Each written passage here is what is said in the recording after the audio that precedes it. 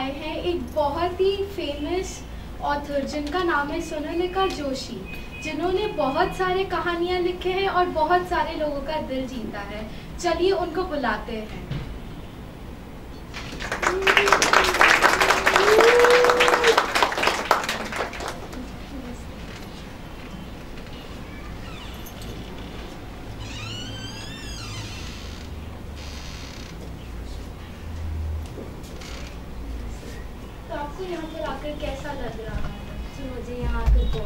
बहुत ज़्यादा अच्छा लग रहा है। आपके शो के आपके स्टूडियो के लोग काफ़ी ज़्यादा वेल बिहेव और काफ़ी ज़्यादा अच्छे thank you for inviting me मैंने आपको यहाँ पर बुलाया आपके करियर के बारे में पूछने के लिए। जैसे आप जानती हैं आप बहुत ही फ़ेमस है और आपने बहुत सारी कहानियाँ लिखी हैं। पर आपका एक ही किताब है जो बहुत ज़्यादा पढ़ा जाता है और इस किताब को ज़्यादा पेरेंट्स ही पढ़ते हैं। क्या आप हमें इस किताब का मिस्ट्री बता सकते हैं आप एक राइटर कैसे बने well actually I was not always a writer मैं पहले स्कूल में काउंसलर का काम करती थी और वहाँ पर कुछ ऐसा हुआ जिसने मेरी पूरी लाइफ को चेंज कर दिया। वैसे ये किताब मेरे दो स्टूडेंट्स के बारे में है। अगर आप चाहती हैं तो मैं आपको उन दोनों के बारे में बता सकती हूँ। वो सच में पहले आप एक काउंसलर थे तो फिर आप एक राइटर कैसे बने? वैसे उसके लिए आपको तो एक कहानी सुननी पड़ेगी। क्या आप सुनेंगी? हाँ चलिए सुनते हैं मम्मी मम्मी देखो मैं कितना अच्छा लिपस्टिक लगाया हूँ। मैं तो मेकअप आर्टिस्ट बन सकता हूँ। तेरा दिमाग खराब हो गया? लड़के लिपस्टिक नहीं पहनते। मम्मी अगर लड़कियाँ बॉक्सिंग कर सकती है तो मैं लिपस्टिक और डांस क्यों नहीं कर सकता? चुप कर। और ये क्या है? मम्मा ये मेरी बेस्ट फ्रेंड साक्षी का है। साक्षी? कोई लड़के दोस्त नहीं है? नहीं। हाँ वैसे कौन ही लड़का तेरा दोस्त बनना चाहेगा? लिपस्टिक लगा के घूमता है। चल इसको धोइए अरे मेरी कमर उठाया नहीं जा रहा मदद कर दो। अरे अपने आप कर लो अरे मम्मी मैं आपकी मदद करूँ? नहीं कोई बात नहीं बेटा तुम्हें चोट लग जाएगी। अरे मम्मी देखो मेरे साथ तीर उठाते अरे आर्या ये क्या सिखा रहे हैं बच्चों को? अगर इसके हाथ पैर में चोट आ गई तो कौन जिम्मेदार होगा? कौन इसका इलाज कराएगा? तुम्हारे घर वाले अरे पापा मैं स्ट्रॉन्ग चुप। लड़कियाँ स्ट्रांग नहीं होती है। अरे पापा जैसे लड़के बॉक्सिंग करते थे और जो दंगल दंगल नहीं दंगल। हाँ तो वाली मूवी वैसे ही। चुप। आर्या तुम इसे लेकर जा रही हो कि मैं बेटा चलो चलो अरे ये रचना कहाँ रह गई अरे रोशन में आ गए और तू कैसी है ठीक हो भाई और तुम कैसा वो ठीक थी यार मेरी मम्मी बहुत डांटती है हाँ मेरे पापा बहुत डांटते हैं announcement for all the students of classes 1st to class 11. For the first time in our school, we are going to announce ballet classes and gym club for all the students. Ballet gym class So those students who are interested, please give your names to your respective class teachers. Thank you. Yes चल नाम निकालने चलते हैं hello Domino's yes one no nothing else actually Roshan pizza खाएगा हाँ mummy order कर दो could you add one chicken pizza yes thank you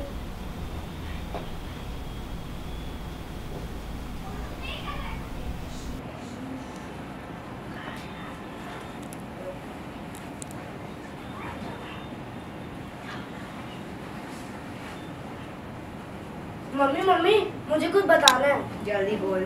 mummy हमारे बैले क्लासेस शुरू है क्या मैं कर सकता हूँ? तू असली में पागल हो गया? कभी लिपस्टिक फिर बैले तेरे दिमाग घास चढ़ गए? मम्मी मैं कुछ नहीं रोशन मम्मी रोशन ठीक से खड़े हो। मम्मी पर प्लीज़ प्लीज़ प्लीज़ फाइन पर अगर किसी लड़की ने तेरे को चिढ़ाया मारा या कुछ कहा मेरे पास मत आइयो। Okay mummy. यस यस ये लड़का भी ना अरे मम्मी बेटा थोड़ा सा धीरे बोलो पापा सो रहे अरे मम्मी हमारे स्कूल में जिम क्लास शुरू होने वाले हैं। अरे बेटा तुम जिम क्लास ज्वाइन नहीं कर सकते तो मम्मी क्यों? अच्छा ठीक है बेटा पर फिर अगर किसने पीटा तो फिर मुझे मत बोलना। ठीक है मम्मी ये! अरे बेटा सुनो तो।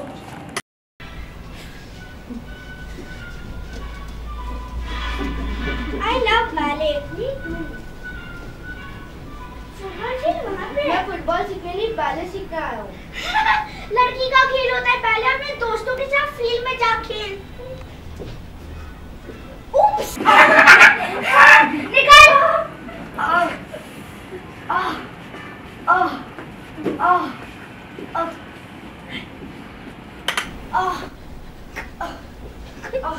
मम्मी। रोशन कैसे हुआ? किसने मारा? लड़की ने। लड़की से पूछ किया है मैंने पहले ही कहा था अगर लड़की ने कुछ भी किया मेरे पास मत आइयो। मम्मी पर मेरी भी तो फीलिंग चुप कर सबके सामने मेरी नाक कटाएगा। चल और तू अब से बैले नहीं कर रहा। कमान पिक इट अप उठा उसको। सर नहीं हो रहा। पंद्रह दिन से प्रैक्टिस कर रहे हो दस के जी नहीं उठा सकते? सर बहुत हैवी है।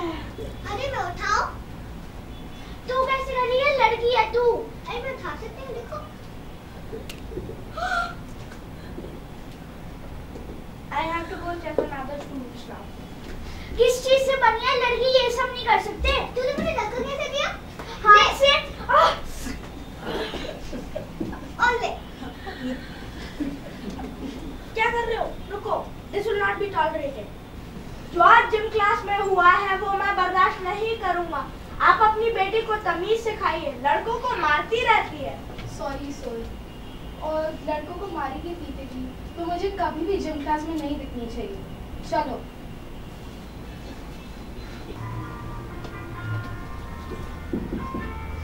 मम्मा ये टाइम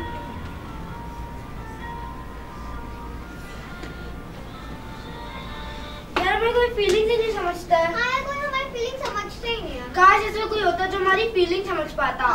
क्या है? बच्चों. Good morning ma'am Good morning बच्चों. बैठ जाओ please. पीछे वो भी कोई बोरिंग टीचर वैसे मुझे लगता नहीं है कि मैं कोई बोरिंग टीचर हूँ. इनफैक्ट मैं किसी सब्जेक्ट की टीचर ही नहीं हूँ. हम्म? मैं एक्चुअली में काउंसलर हूँ. काउंसलर काउंसलर अगर आप सोच रहे हैं कि काउंसलर क्या होता है वेल इस दुनिया में आज भी कुछ ऐसे लोग होते हैं जो दूसरों को समझना चाहते हैं. और मैं उनमें से ही एक हूँ। विच मीन्स अगर आपका कोई भी इशू है related to family issue career issue करे इशू सो आप मुझसे बात कर सकते हैं। I would love to have this क्योंकि मेरा ऑफ़िस तो इस फ्लोर के नीचे ही है तो आप कभी भी मुझसे बात कर सकते हैं। ओके okay, चलो मैं चल हूँ। बेटा बोलो। मैम हमारे थोड़े इश्यूज़ हैं। हाँ बोलो बेटा। मैम मुझे बैले करना है। क्या मुझे जिम करना है? हाँ तो करो ना। किसने रोका है? मैम हमारे पेरेंट्स वो बोलते हैं कि जो लड़कियाँ कर सकती है वो लड़के नहीं कर सकते। और जो लड़की कर सकते हैं वो लड़कियाँ नहीं कर सकते। देखो बेटा ऐसा कुछ भी नहीं है। जो या तो लड़के कर सकते हैं पर लड़कियाँ नहीं कर सकती। या लड़कियाँ कर सकती हैं पर लड़के नहीं कर सकते। और क्या अलग होने में कोई बुराई है? नहीं। तो अगर तुम अलग हो अगर तुम दूसरों से डिफरेंट हो तो क्या इसका मतलब ये है कि तुम अपने सपनों को दबा दो? हार मान जाओ। देखा? तुम्हें खुद को आंसर पता है। वैसे एक काम करना। कल अपने पेरेंट्स को मेरे ऑफ़िस लेके आना। मैं उनसे बात कर लूँगी ठीक है? बाय बच्चों। यस यस मैम आपका दिमाग खराब हो गया अगर ये वेट लिफ्टिंग बॉक्सिंग करेगी तो शादी कौन करेगा? इतनी छोटी सी बच्चे की आपको शादी की मैम बट ये वेट लिफ्टिंग बॉक्सिंग नहीं कर सकती है। क्यों? लेकिन अगर ये वेट लिफ्टिंग बॉक्सिंग करेगी तो समाज में हमारी क्या इज़्ज़त रहेगी? इतनी छोटी सी बच्चे आपको समाज की इतनी परवाह क्यों है? मैम आप अपना ज्ञान अपने पास रखो और रचना तू चल मेरे साथ। सर सर इस मैम आप तो मैम आप तो एजुकेटेड फैमिली से आप तो समझिए ना। सुनिए मैडम ये मेरा इकलौता बेटा है अपना टाइम बैले वाले पर वेस्ट नहीं कर सकता इसको बड़े होकर मेरी कंपनी संभालनी है मम्मी पर चुप। और किसने कहा तू ये जाकर दूसरों को बता सकता है? Ma'am I am teacher I have the right to know ma'am please keep your opinion to yourself चल मैम चल हमसे मैम लोग क्यों नहीं समझते हैं? इतना समझाने के बाद भी इन्हें बस सपने कुचलना ही आता है। आगे मैं आपको ये बताना चाहती हूँ कि कुछ सालों बाद बहुत ही ज़्यादा बुरा हुआ। क्योंकि रचना की बहुत छोटी उम्र में ही शादी हो गई। और वहीं दूसरी तरफ़ ही रोशन अपनी माँ का कहना मानते हुए अपनी माँ की कंपनी संभालने लगा। अब हम आपको दिखाएँगे कि उनके साथ क्या हुआ। फिर आप खुद सोचिएगा। प्लीज़ आप मेरी बात समझने की कोशिश की, मैं आपकी सैलरी नहीं बढ़ा सकता। बट आपको पता नहीं अभी कंपनी कितनी लॉस में चल रही है। देखिए, अगर आपको इस कंपनी में काम नहीं करना तो प्लीज़ आप अपनी जॉब छोड़ के जा सकते हैं please